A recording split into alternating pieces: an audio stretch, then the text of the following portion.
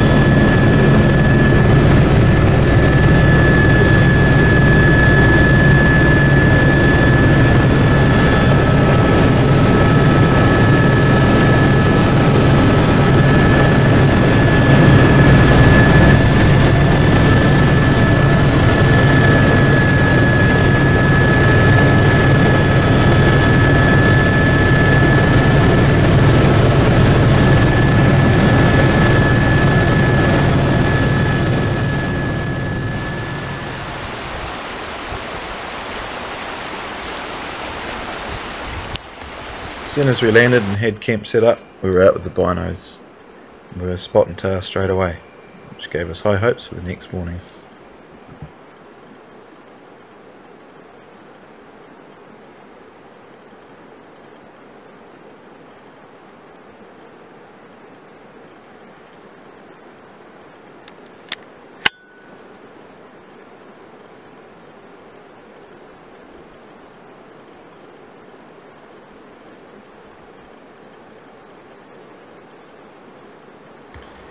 We were up before the birds with a big day planned ahead of us. We climbed about 600 metres and we were right up amongst the tahr.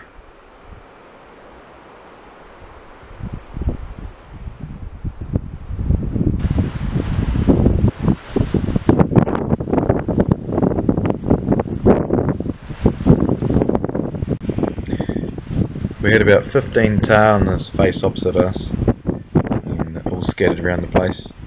Watched them for about two hours. Um, couldn't see any decent sized bulls in the group, but it was still pretty cool to watch them.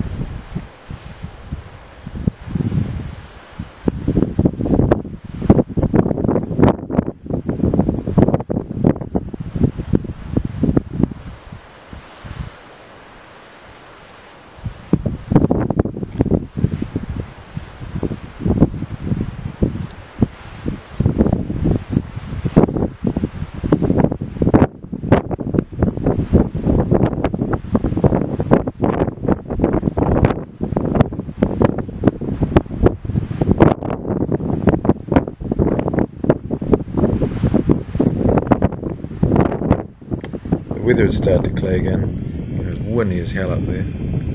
So we decided it was time to head for camp.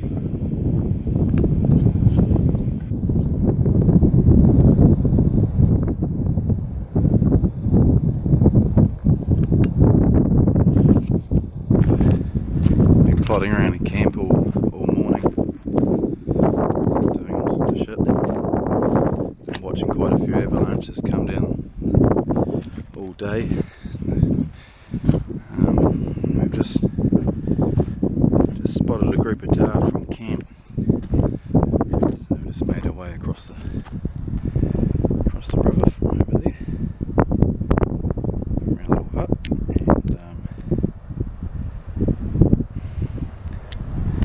we're going to see if we can get up and have a have a crack at them. Hopefully they hopefully they're still up there, can't spot them anymore. But they might be sitting in a little gut. It's stinking hot. It's an absolutely stunning day. And um, it's probably the best day we've had so far, weather-wise. Unfortunately, there doesn't seem to be as many animals uh,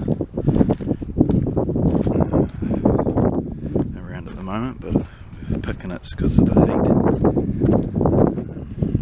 We'll, we'll make our way up to there and hopefully something pops its head out and we'll, we'll be into it.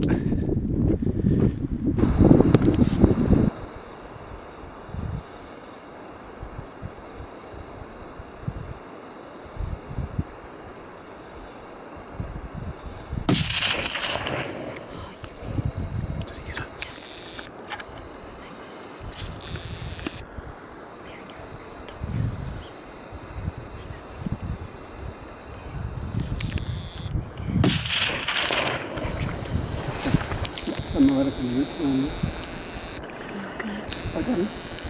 Oh yeah.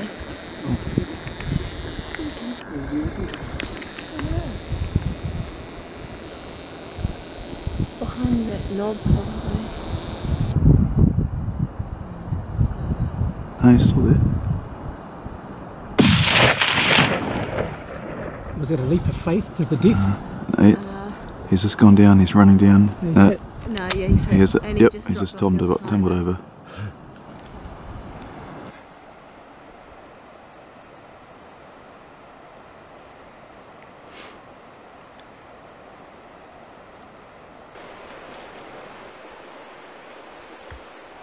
We sat in the riverbed one afternoon watching this of up high. Watched them for about three hours.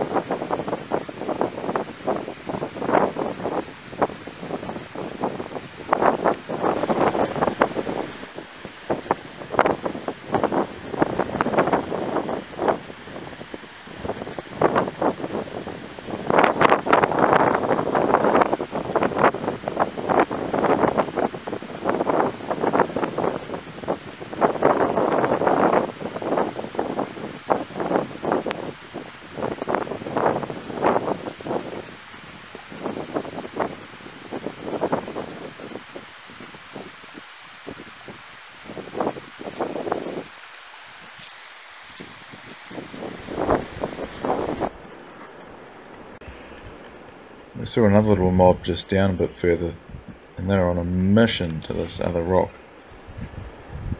Must be something pretty exciting there for them.